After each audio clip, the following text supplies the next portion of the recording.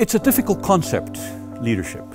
And so to try and make it as concrete as possible, at least to get started, let me, let me provide you with, a, with an expression or a metaphor that I think begins to capture the subtleties and the difficulties involved in the notion of leadership. It's the expression of it takes two to tango.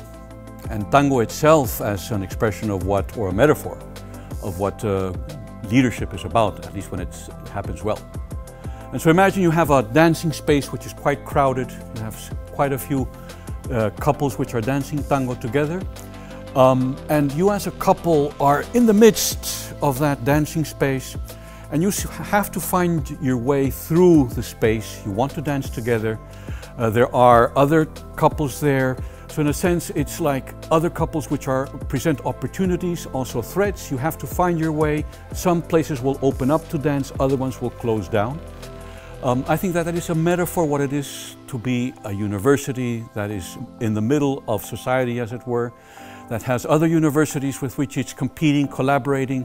There are social actors.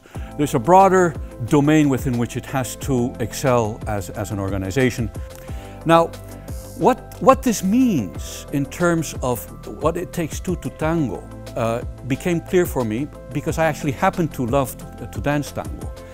I'm not a good a dancer. I'm a lousy uh, dancer, and this is not to to be a sort of act of self-modesty in the in the framework of this of this uh, meeting. I, I'm not a good dancer. My partner is, and because she's a good dancer, she can compensate for a lot of my my, my faults. And so uh, my tango teacher wasn't particularly happy with me. So what he invited me to do was to dance with someone else who didn't, who hadn't danced with me, and so who wouldn't anticipate. Turned out to be a dancer who was much, much, much better than what I was.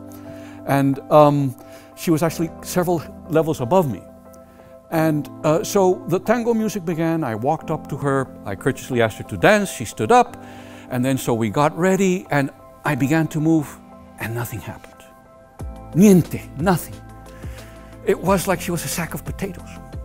And I don't know whether she didn't like me. I don't know if whether she wasn't in the mood. But I had to actually push her into movement. And then dancing afterwards was a torture because it was like, like, like trying to, to, to swim in molasses. And when the dancing ended, I, you know, I was just, I was just thought, my gosh, if this is what tango is about, you know, I can't, I can't deal with this.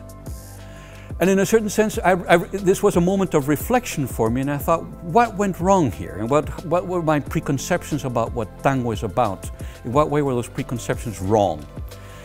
I think that what this showed me is that in a certain sense, if you compare that image of my, you know, that failed tango to the, to the image of the tango couple that is, you know, effortlessly dancing through the space, you would think that that second example of the uh, couple which is effortlessly dancing through the space and navigating its position within a complex field, that what you have is a guy there who's the leader and someone who follows, and that, that precisely is because there's someone who follows and someone who leads that is successful. But in a certain sense, I think that that's not really what was, what's at stake in, in, in leadership. I think that the difference between the two situations is that, in a certain sense, unless who follows also leads, and leads by anticipating and already being prepared to receive and to move in a certain direction, nothing will happen, which is what happened with this partner of mine who acted like a sack of potatoes. And so what happens is when you have a good tango couple which are dancing beautifully, is that there's someone who leads, but in the very process of leading, you're also following. And that who follows also leads.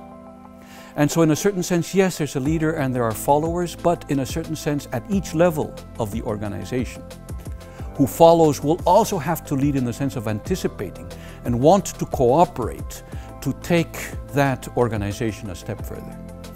Now, this is of course a, a metaphor, tango. And so let me try and generalize it a bit to make it a bit more um, concrete in terms of what it means for a large organization like Tilburg University. Let me do so by drawing a distinction which is common or prevalent in, common, in collective action theory, which is a domain of philosophy. I happen to be a philosopher. It's a distinction between we each and we together. What that means is this, the, the lady and I that just couldn't get our act together, that was we each. two individuals there standing side by side but not really doing anything together. And the example of that couple that dances beautifully, weaving in and out of the spaces of the opportunities and threats which are available on that dancing space, is we together. Now, it seems to me that what leadership is about is trying to articulate in a dialogue with the participants of that we together what it is that we're doing together. What is it that we are about as a university in an ever-changing context which brings threats and opportunities? Think of the tango example. You're you are weaving your way through a more or less crowded space, opening up possibilities, closing down other possibilities. So in a dialogue with those who follow, but to the extent that it's a dialogue, there's also a leading which is taking place there. Try to articulate what we are about as an organization and what we are about as an excellent organization. And that also therefore means that you have to accept the fact that it, and there's a difference with tango, that it's not merely about being able to come together and enjoy tango, it's also the fact that in an organization there will be conflict.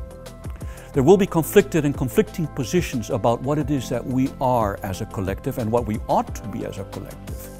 But I think that what leadership is about is accepting that what we're trying to do is articulate what we are together and who we want to be together, but also accepting that we are we each, that is to say that there are different perspectives on what it is that joins us together, and wanting to have that moment of we each be part of the articulation of what we are together.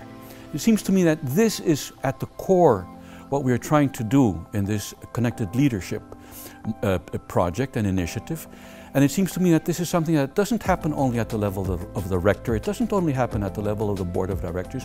This is something that happens all the way through the collect through through this organization in different ways certainly, but throughout the organization as a whole.